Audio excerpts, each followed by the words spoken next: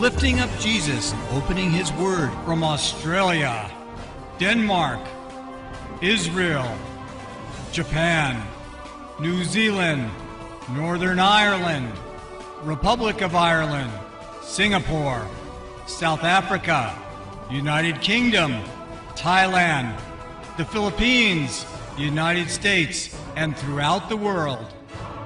You're watching Moriel TV. One of the Moriel branches received a question from someone who visited or someone they know visited a blog site of Christian feminists uh, who have been attacking the intra-seal position and things like this, and they're into women teachers and things like this, and they're at odds with myself and Moriel because we believe leadership is male. And they claim, according to the person who contacted us, that I did not believe that the rapture was between the sixth and seventh seal prior to the authors Bob Van Kampen and Marv Rosenthal. That I'm, I simply built on and corrupted their groundbreaking work. That's the phrase that was used. Uh, and they take issue with the fact that I believe that the restrainer is the Holy Spirit. That although I am not pre trib myself, I do believe that pre trib people are correct about the identity of the restrainer in Second Thessalonians.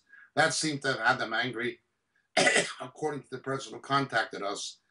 And also, they want me to explain in brief what is meant by the shattering of the power of the holy people. Now, again, this blog side of these feminists, I ignore them. We did try to reason with them at one point, but you can't reason with people who are not reasonable. This one woman who's extremely ignorant. And when we pointed out that John 16, verses 20 to 25, is speaking about the last days, it's speaking about the return of Jesus. Jesus says so directly. It's a passage that is eschatological. When Jesus tells his apostles that he's going to go away, but he's going to return, and they're going to mourn when he goes away, but they're going to rejoice when he comes back. It says, Truly, truly, I say to you, that you will weep and lament, but the world will rejoice. You will grieve, but your grief will be turned into joy. Whenever a woman is in labor, she has pain because her hour has come. But when she gives birth to the child, she no longer remembers the thlipsis in Greek, translated usually anguish. Because of the joy that a child has been born into the world. Therefore, you two have grief now, but I will see you again, and your heart will rejoice, and no one will take your joy away from you. I will see you again. Therefore, you have grief now, but I'll see you again. He's speaking of his return. He uses the term thlipsis, and he uses the same motif of birth pangs found in Matthew 24, Mark 13, and the Olivet Discourse, and also Revelation chapter 12, etc. So, thlipsis, last days, his return, and the motif of birth pangs. He's plainly speaking about the end of the age. This rather ridiculous woman says, no, he isn't. I can't reason with an ignoramus. I'm not trying to insult her, but the woman is plainly some kind of a charlatan, wanting to be a teacher uh, and wanting to teach men. Now, again, it's a little cyber cult. It's a thing where the women want to wear the trousers and they expect the men, and there's these men who come to them apparently who wear the skirts. This is a complete inversion of God's order.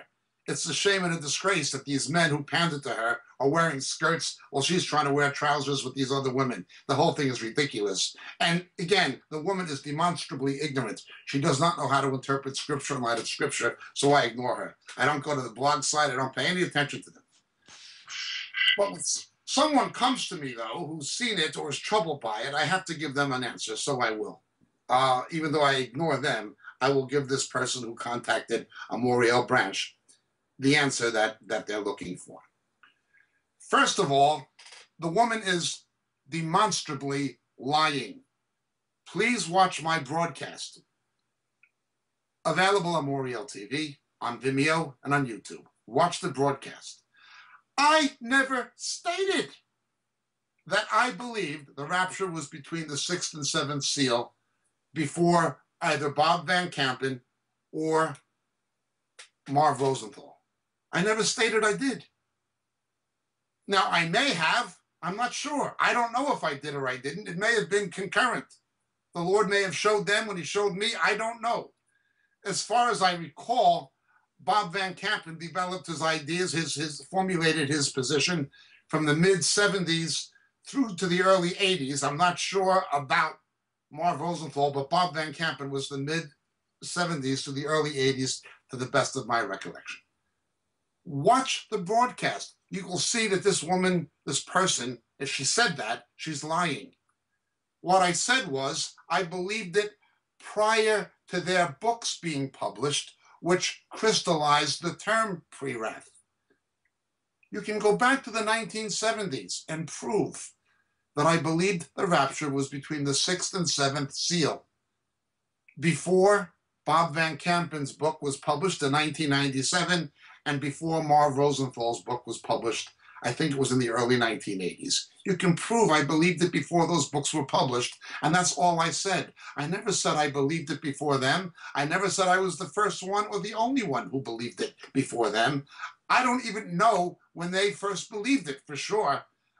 I may have believed it before them, but I never spoke to them about it. I don't know Marv very well. I've met him once or twice. I led one of his missionaries in Israel to the Lord uh, before he obviously became a missionary. Uh, and I've met him th- through him and through his brother I met, but I don't know Marv very well. I did know Bob Van Kampen. I'd been to his house when he was still with us, and I know his staff. I know the people who run Sign Ministries. Uh, Roger Best, who's now semi-retired. I know Charles uh, Cooper, the author, excellent scholar, excellent author. Uh, and I did spend time with Bob Van Kampen, and I knew what he believed. They were interested in me because they found me curious and that I was a Pentecostal who had beliefs along the same line as theirs. That's why they found me interesting. Uh, they say that these books were groundbreaking and that I corrupted it and built on. I can prove that I believed my position independent of them. I didn't even know who Bob Van Kampen was until the late 1980s. And I didn't know who Marv Rosenthal was until the early 1980s. And I knew about him not because of his eschatology, but because he and I were both involved in Jewish evangelism. Well, talking to Bob Van Kampen, Roger Best, and their staff, this ridiculous notion that their work was groundbreaking is directly contrary to their own claims. Sign Ministries, the publishing company of Bob Van Kampen, and Bob Van Kampen supported the ministry of uh, Marvin Rosenthal. one of the first things they did was publish the out of publication works of Dr. Samuel Tregelles. They were saying, we're not the first ones who believe this. They were saying there was Darby, followed by Scofield, and there was Dr. Tregelles. But because of church politics and other reasons, Darby came out on top in terms of popularizing his pre-trib view. Other early dispensationalists, other founders of the Brethren movement did not agree with Darby, Tregelles being the leader because he was the Greek scholar. He was more learned than Darby. They didn't claim it was groundbreaking. They were simply saying, look, this was not the only position of Darby. There were other people who believed this, what Tregelles believed. And they went back to the patristic history and said, look, look at Papias, Hegesippus, Irenaeus. The early pre-Nicene church fathers most associated with the apostles didn't believe pre-trib either. They never claimed that set a precedent or that it was groundbreaking. They were simply reacting to the predominance of this pre-trib position that came mainly from Darby and Scofield. To say that I built on it when I believed what I believe before the books were published or even written. This is called slander. I can prove that I believed my position long before these books were published, and I never said I believed it before Bob Van Kampen or Marv Rosenthal. Listen to the broadcast yourself. You will see that this woman is a slandering liar with no principles. She's a Christian feminist who wants to be a teacher, but she doesn't even know how to handle the scripture. It's a cyber cult following a woman, men who wear dresses, women who wear trousers. That's what it is. It is Christ dishonoring scam. It's a joke. I don't go to that blog site or website, I just ignore them. Not only do they not know how to handle scripture exegetically, now they're lying and engaging in slander. We will stand before the judgment seat of Christ. She's saying that I built what I believe on these books. I believe what I believe before these books were even published and can prove it. If you're going to tell lies, at least tell believable ones. But she's not that clever. Now, the shattering of the power of the holy people. This is found three places in the book of Daniel and two places in the book of Revelation. Let's begin with the book of Revelation, chapter 13. Verse 9 If anyone has an ear, let him hear. If anyone is destined for captivity, to captivity he goes. If anyone kills with the sword, with the sword he must be killed. Here is the perseverance, the hupomone, and the faith of the saints. This is going to go on for some time. For how long? It goes on for three and a half years. We go back to chapter 11, the ministry of the two witnesses, and what happens after they're killed. There is a three and a half year, that is 42 month period. Jesus had three and a half years. The Antichrist demands equal time to do as he wishes. In Revelation chapter 14, we read about it in verses, verses 11 and 12. Following the mark of the beast and the mark of his name, here is the perseverance of the saints who keep the commandments of God.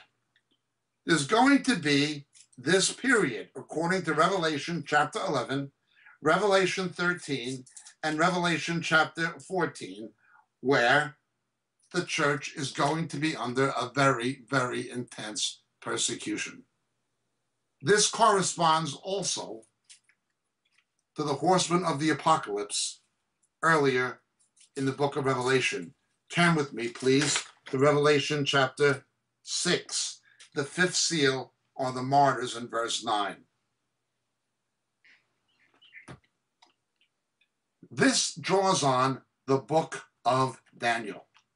Bearing in mind, Revelation chapter 11 puts this at a three and a half year period. In Daniel chapter 7, we find the first instance, verse 21. I kept looking, and that horn was waging war with the saints and overpowering them until the Ancient of Days came, and judgment was passed in favor of the saints of the highest one, at that and at that time arrived when the saints took possession of the kingdom. You have the ten horns, the same as you have in Revelation 12, immediately following it. Then you have in Revelation, uh, Daniel chapter 8, you have the same reference again, or reference to the same thing. He will destroy mighty men and the holy people in Daniel 8 24. And finally, in Daniel chapter 12, we see there is a shattering of the power of the holy people. There are two aspects of this shattering. One of which concerns believers. That's the perseverance of the saints who must face the Antichrist for a brief time before being raptured. Then there is Israel. Until now, the nation Israel is still being divinely protected. They won the War of Independence in 1948. They won the war in 1956 and 1967 against unbelievable odds. They won the Yom Kippur War. They won both intifadas. They're being divinely protected. Many people believe there are two battles of Gog and Magog, not only the one after the millennium, but one before it, and the stage is being set for that now, and Israel, by divine intervention, will win that as well. God is protecting Israel. But he's going to lift his protection from Israel. When they make the covenant with death with the Antichrist, he will enter the beautiful land. A time will come when God will stop protecting Israel. And a time will come when the Antichrist will come to power for three and a half years and make war against the saints. This is the shattering of the power of the holy people. The best way to understand it is to understand what happened to Jesus. Only after he was baptized by John did Jesus begin to do miracles and healings and things of this nature. He continued to do so until he was arrested. The last time was when he reattached the ear of the high priest's servant in Gethsemane. After that, Jesus was no longer empowered by the Holy Spirit. And he was no longer protected by the Father because he had taken our sin. And now the judgment of God was going to be poured upon him. The Holy Spirit, however, was still inside of Jesus. The Spirit of Jesus is the Holy Spirit. He was conceived of the Holy Spirit. When he died on the cross, he gave up the Spirit, okay, gave up the ghost. The Spirit was always in him, but the Spirit stopped empowering him and God stopped protecting him. When the son of perdition betrayed him. What happened to Jesus happens to the church. It's going to be betrayed, it's going to be brought before governors and kings, and it's going to face an hour of crucifixion, followed by an hour of glorious resurrection. Not all believers will be killed, but many will. Certainly, two thirds of the Jews are going to be killed separately, but in their experience after the church is removed. One way to understand this is the Holocaust of the 1930s and 40s. What Hitler, who had an antichrist spirit, tried to do to exterminate the Jews is a picture of what the antichrist and false prophet are going to try to do to exterminate believers. There will be the shattering of the power of the holy people. One aspect is for believers. That's the one highlighted in Revelation 11, Revelation 13, Revelation 14. The other is what is for Israel and the Jews the shattering of the power of the holy people. Like Jesus, a time is going to come when we will no longer be empowered and our protection will be limited. That is what's going to happen. Why does God allow this? In the case of Jesus, he allowed it so Jesus could atone for our sin. In the case of the church, it's going to be the church will have become so apostate, so corrupted, and so worldly that persecution becomes a necessary evil to distinguish the true believers from the false church. Now, this is a big issue, but this is the meaning of the shattering of the power of the holy people. The Spirit no longer empowered Jesus, and divine protection was removed. That will happen to the church. And in another way, that will happen to Israel.